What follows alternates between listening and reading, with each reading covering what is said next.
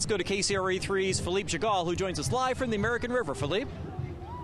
That's right, and we're already seeing a difference. The river is already about a foot higher since the spillway was opened up this morning. It's warmer, so more people are expected to jump in the water. Just remember to be safe. It didn't take long for kayakers to hit the waters. Boats will soon follow. The sea lions are loving it, and so are the fly fishermen. Even a horse stopping by for a sip of these now frigid waters. A direct result of the Sierra snowpack runoff. The water's very cold, but it's beautiful out here, so we like it. Live Copter 3 HD shows water from Folsom Lake being released into the American River, increasing the river flow by 2,000 cubic feet per second.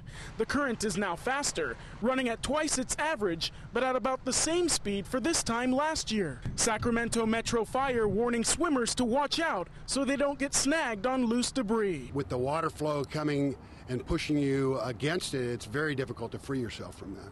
The water level increased by about a foot since the spillway opened up. The U.S. Bureau of Reclamation says the river could see a slight rise over the weekend, and releasing water from the lake will continue through mid May. It's all a balancing act to retain as much water as possible, um, at the same time making sure there's uh, flood uh, control space in the reservoir. Be smart, be safe, and wear your life jackets. Always go with people and don't swim over the rapids. It's a very bad idea.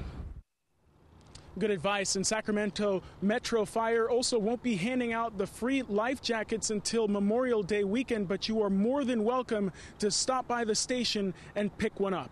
Live in Sacramento, Philippe Djegal, KCRA 3 reports.